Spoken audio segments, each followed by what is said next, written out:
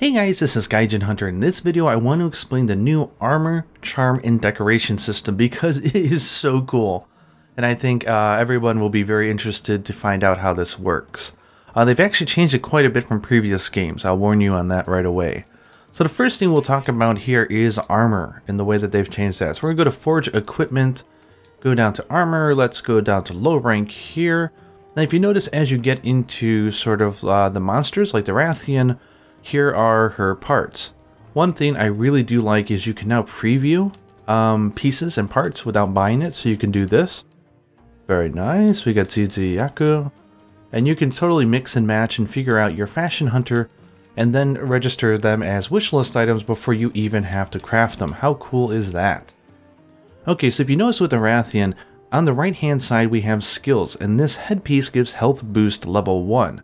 Yes, that means that every single piece of armor activates a skill, so we head and press the center button here.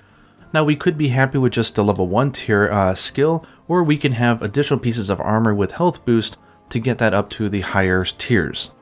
Okay, let's see, like the arm is poison attack, so that's only a three uh, level 3 tier skill it goes up to. Poison resistance is 3 tiers as well, and recovery up is 3 tier. These are all 3 tier skills except for this one, um, is actually a level 4 tier. You'll notice, uh, it be, depending on the skills, there may only be one tier, maybe three, four, five, or 6. It really depends on the skill. So that's really cool and dandy. So you maybe think to yourself, well now everyone's going to do mixed sets, because what if I want health boost, but I could care less about the quality of my herbs? And let's say I want to go down to Tzitzi-Ya-Ku and I want Constitution.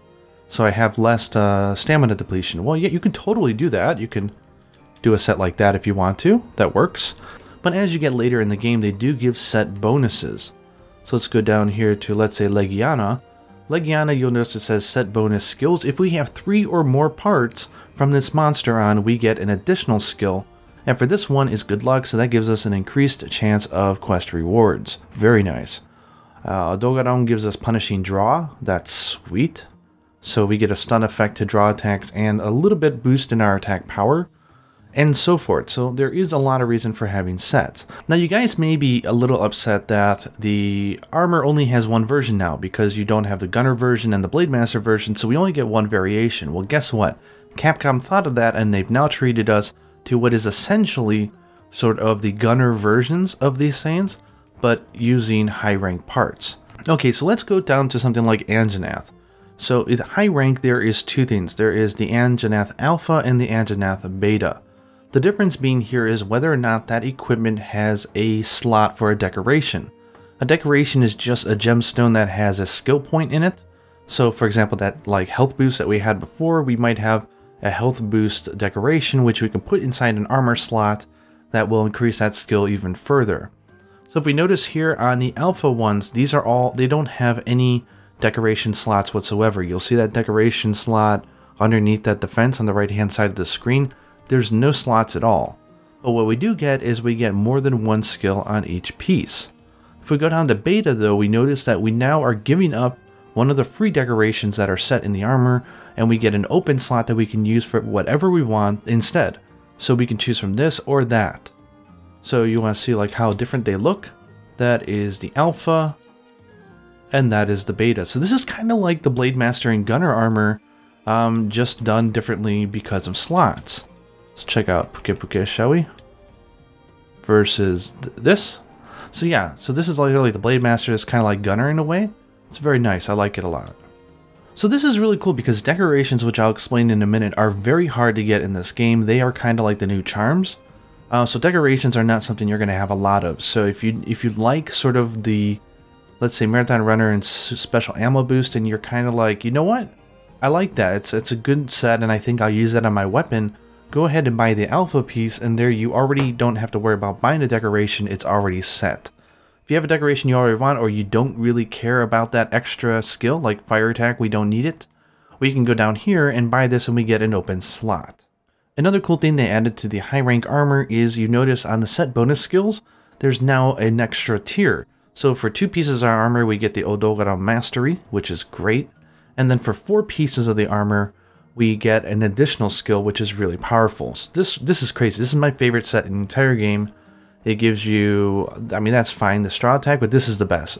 Odogaron Mastery, weapon sharpness does not decrease for a set time after sharpening. That is amazing. It lasts for like an entire minute where you don't lose sharpness. So for weapons that are high raw but very low sharpness, that's an awesome skill. So very cool. I love the way that they did alpha and beta, and we still get uh, sort of the variants on the armor. So cool. okay, so that's armor. Let's check out charms. So if we go to forge equipment and go down to charms, we can now forge these. And these are really hard to make and upgrade. These are like an additional piece of armor, but it's based on a skill. Um, so you can equip one of these only, of course. Uh, that's always kind of been how it's been in the series. Um, if you notice here, there is a charm for every major skill. Um, quite a few. Um, and they're actually pretty hard to make. Um, let's take a look. Let's go down a little bit. Stuff like uh, Master's Charm. This is the critical eye one. So this will give you critical eye affinity plus 3%, which of course helps you do critical attacks more often. Um, this takes an Odogaron plate, which is the most rare material you can get from a low rank Odogaron. Now one of the cool things is on the charms is you can actually upgrade them as well.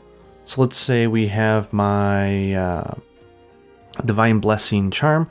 You can upgrade up to three times. Um, they take some really rare materials. Um, so I haven't upgraded that one because I need those things. But look at stuff like this. Guard uh, level 3. Guard being for Lance, if you want to have a stronger guard without losing stamina. To get up to level 3, I need a Vaal Hazak gem. That's like one of the endgame Elder Dragons. so yeah, this is a very nice long-term goal. The cool thing with these though is that these will always stay with you and you can use them with any armor set. So yeah, that's pretty cool and that is Charms. Okay, so with all this talk about the armor, you have the alpha, which has, you know, skills built in. You have beta, which has available open slots for decorations, and charms, which can be upgraded as well. You're probably wondering now, how do I get decorations? Well, decorations in this game are sort of the end game content in a way. Uh, decorations are earned, they're not they're not found, you get them in your quest rewards. So as you play the end quest or the high rank quest, you'll earn random uh, decorations for rewards. So when you want to set your decoration, you go over here to equipment and you'll notice that when you have uh, armor that has slots, which is again the beta uh, armor, um, or some special alpha ones as well, look at the slot on the right hand side of the screen, you'll notice there's like a little white dot on the bottom there. That means it can hold a level 1 decoration. That has three, three dots, so it can hold a level 3 decoration, and this one has two slots, so it can hold a level 2 decoration. So it's very easy now to understand because each of the decorations you see in my list here have a number after it which tells you the power of the slot that it needs. Very, very easy to understand. Now, just because it's 1 and 2 doesn't mean that 2 is automatically better. For example, Fortitude is an amazing skill and only requires a level 1 slot. Um, so yeah, decorations are great, but if you notice, I don't have that many decorations. And the reason for that is one, they're very hard to get because they're only in quest rewards, and I've only been plowing through to the end of the game for my review. Um, the other reason is because I wanted decorations that I like, and in order to do that, at the very end of the game, you'll unlock a new type of investigation called Tempered Monsters. There's no real story behind it, but Tempered Monsters are like High Rank Plus. They're even more powerful than High Rank. Um, they have very strict conditions, like you can only faint one or two times. Um, they're enraged a lot, they do big attacks a lot. Uh, they're just really difficult and really fun to hunt. Um, so these Tempered Monsters, if you notice down there under rewards, has two purple slots what those are is it gives you shards. Now when you hunt the tempered Monsters, you do get decorations and rewards, but the shards, you go over here to the Elder Melder, there's the first Wyverian ritual, and you can then spend sort of uh, multiple decorations, throw them in a pot, and get out a random new one. You know what, the heck with it, we'll just, we'll throw something in there. Um, Tremor Resistance, uh, might need that for Deviljho, but sure, you know what, I'll throw it in there. And water resistance. Okay, so that's 12 points, so we get one random, and we can keep this going. Let's hit meld here and see what we get. And it does save your game, though, so no cheating, guys. Come on! Something good, please. What do I get? Frost Jewel, Ice Attack. Nah, I don't really need it. But you see here, it's like the ultimate gacha system. You throw in one, two, or three decorations and you get one new one or two new ones. So you're going to quickly run out of gems. So the end game grind is really going to be fighting tempered monsters and earning decorations and crystals so that you can get new decorations. Decorations though are very powerful. Uh, again, look at my set here. I have the elemental uh, elementless jewel, which boosts my attack power because I don't have an element on it. Uh, I got flight, which gives my jumping attack power plus 10. So there are plenty of skills that activate its final tier with just level 1. So very worthwhile indeed. Um, and then, of course, because of the way the new system works, um, you can have a lot of skills active at once. So, for example, mine, I have Odogaron Mastery, level 2 and 4, Critical Eye 4, Attack 3, Speed Sharpen 3, Weakness Exploit 2, Airborne, Fortify, Constitution Quick Sheath, and Non-Elemental Boost. Phew! So yeah, lots of micro stuff um, to really tweak your hunter. I, I love it. It's so good. There's nothing that is really wasted. Anyways, I hope you guys enjoyed this video just checking out the new armor system, uh, the crafting system for the charms, and also decorations. Who would have ever guessed that that would be the end game? Anyways, it's a wonderful system. I can't wait to see what type of decorations are out there as people start playing and using that pot. Uh, yeah, and let me know down in comments below if you're seeing this after the game is released. We can hear what type of cool stuff that you found. Hope you guys enjoyed this video, and until next time, happy hunting.